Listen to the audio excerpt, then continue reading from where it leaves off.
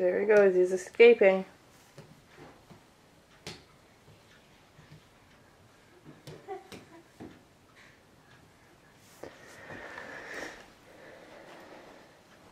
Where are you going, Mitchell? No, no, that's Tiga's leash.